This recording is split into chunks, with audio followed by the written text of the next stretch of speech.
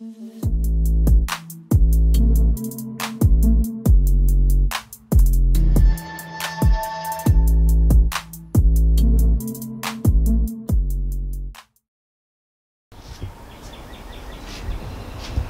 I'm over here trying to straighten up this garage a little bit before I start doing a little work up in here. I'm actually trying to, this is what I'm working on right now. I'm actually working on this daggone, it's like a, it's a, not a box fan, but you see I, I was showing this fan over here. That fan there is just so big, it's an industrial fan. And that thing is so loud.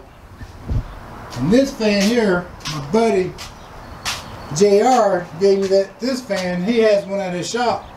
It's dirty and stuff, so he gave it to me. I'm just gonna make a platform for it, and um, it blows really cool air.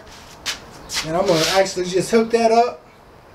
I hope you guys can hear me because I got the camera turned around the opposite direction. I apologize about that, but that's what I'm working on right now.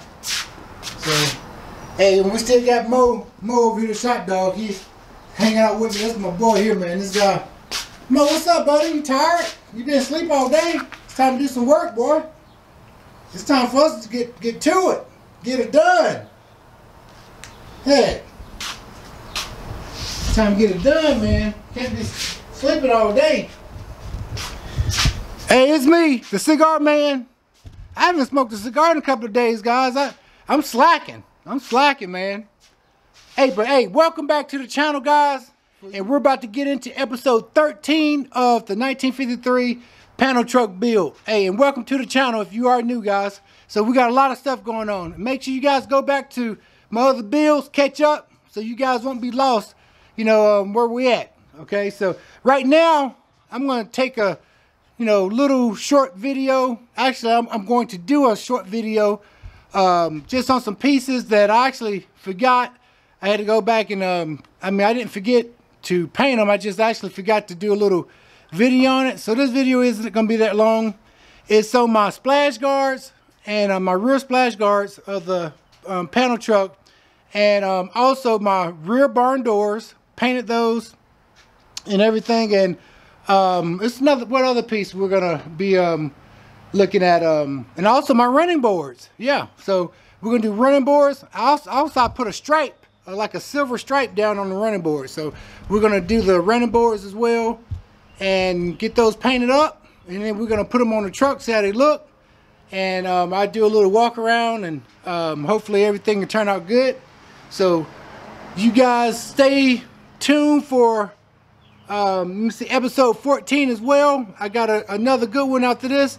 So I tell you what, man, I got I got a lot of good stuff, man. Hopefully next week I get that video up for you guys. But until then, let's go ahead and get into episode 13. And um, let's see how these running boards and the uh, rear barn doors and also that splash guard turned out.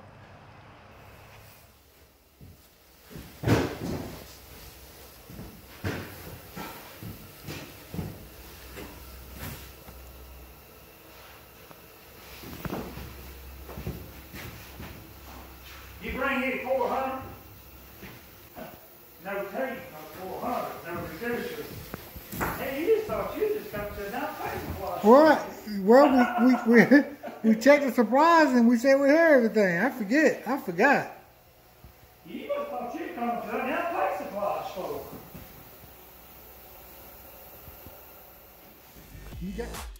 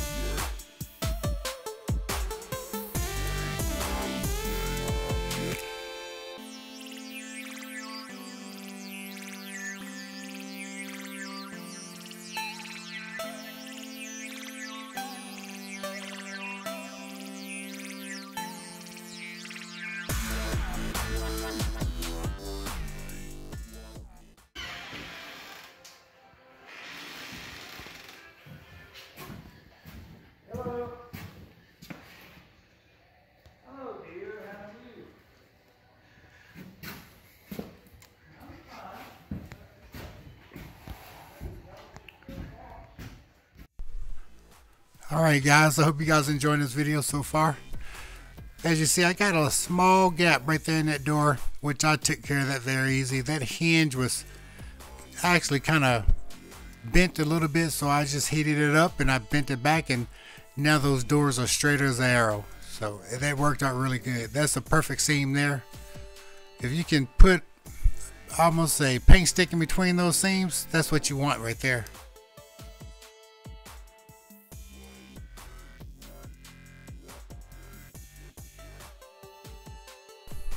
So let's go ahead and do a little walk around.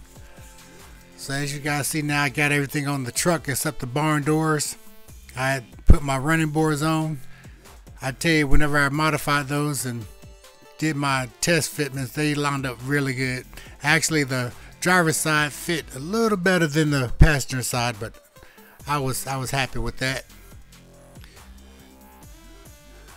Show you guys the seal plate. I actually put the seal plate down in there.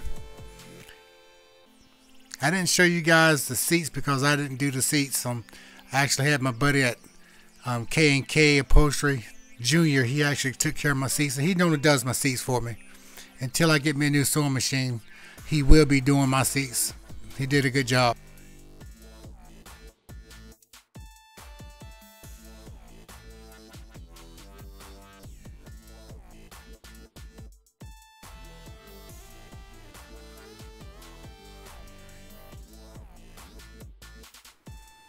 So don't forget, I want you guys to leave me some comments down below. Tell me what you guys think. Did we knock it out the ballpark? We're almost there. And I also went on ahead and did the rear barn doors, the inside material. Just did a little small design, nothing special.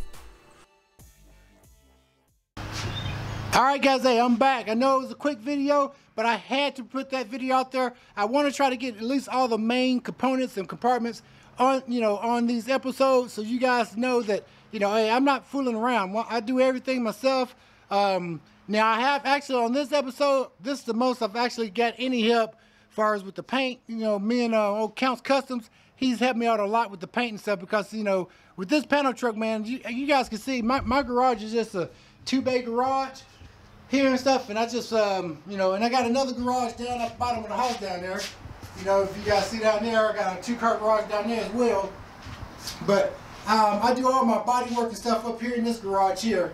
As you guys can see, I got my paint booth, my makeshift paint booth up here and stuff. That's, uh, you know, just plastic and stuff that I put all around and drop it. And I, I got like a whole section that I have all my stuff going outside the fresh air.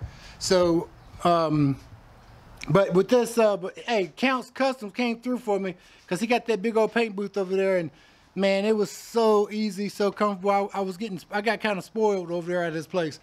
So anyway, I hope you guys enjoyed this video. Um, it was just a short one. Um, make sure you guys look, hopefully, maybe next week for episode 14 um, see what we're going to do next. And um, like I always tell people, if you got a good cigar, a fast car and truck, Smoke them if you got them, baby.